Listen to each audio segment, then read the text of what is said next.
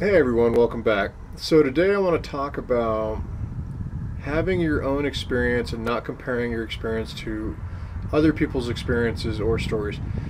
If you haven't done it, hit that like and subscribe button down below and that bell notification icon and help this channel grow.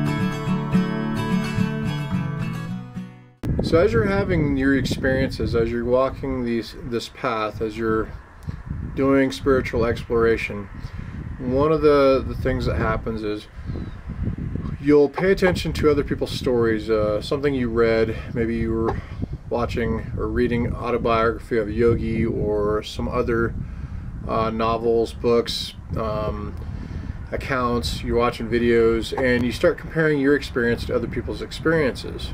The problem with that is that your experiences inside of your head will never match the experiences that other people have had. It's impossible, right? Only they can have those experiences. It's like, think about like taste. Like you eat a blueberry, and inside of you, with your wiring, a blueberry may taste like this. But somebody else eats a blueberry and it may taste like a strawberry. I mean, this is all theory, but you get the basic idea. And this was one of the problems I had with my experiences is I was comparing my experience to other people's and it just it just didn't match up. And it wasn't until I met uh, a gentleman that I learned most of my meditation techniques from that I realized I had had a lot of these experiences as he's describing experiences of some of his other students. I'm like, oh wait, I've I've already had that.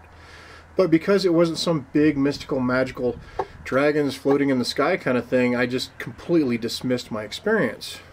Dismissing your own experience is the fastest way to completely miss any of the progress you may have been making. You may have had experiences your entire life and completely dismiss them, right? So don't dismiss your own experience. Your experience, this is your experience, right? Now, the modern mind has given us science.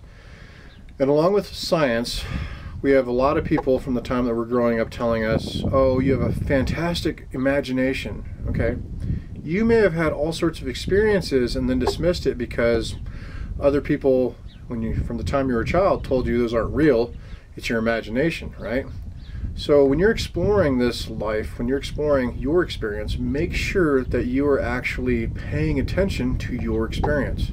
Nothing will derail you quicker than ignoring what you have in front of you, right? It's just, it's a terrible thing because you can go years ignoring things that could have put you further ahead. So I know this is kind of a short video today, but, um, but I mean, it's fairly simple. So stop chasing other people's experiences. Just experience your own experience, right? Every single spiritual teacher out there that has gone further than, than the basics will tell you the same thing, right? Your experience. Adyashanti is really, really, really fond of talking about that. And there's a reason for it.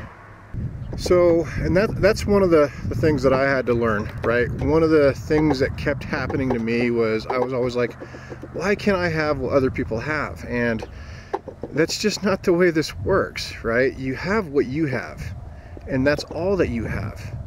So if you're comparing your stuff, if you have this envy of other people uh, and their experiences, then it's going to delay you in your experience and your own realizations.